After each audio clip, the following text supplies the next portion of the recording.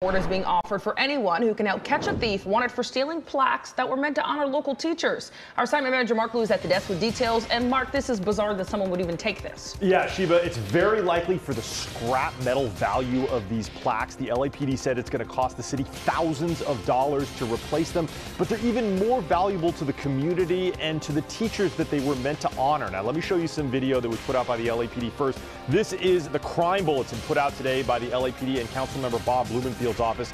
It has the best photo of the suspect so far. LAPD thinks that individual is responsible for chiseling out and removing 11 heavy bronze plaques set in the sidewalk here on Owensmouth Boulevard in Woodland Hills.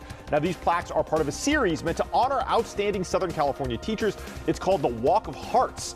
And that foundation has been recognizing great teachers with these bronze plaques since 2004. There's 75 of them in total around the Woodland Hills area. And at some point this month, some suspect apparently lifted 11 of them right out of the sidewalk, very likely due to their scrap metal value at a scrapyard. LAPD says they're worth a lot of money. The city says it's going to cost $4,000 each to replace them, in addition to, rec- to repair the damage to the sidewalk. Today, the news conference at 1, there's supposed to be a $25,000 reward offered for information leading to whoever took these bronze plaques. That is the very latest here from the desk. I'll send it back to you.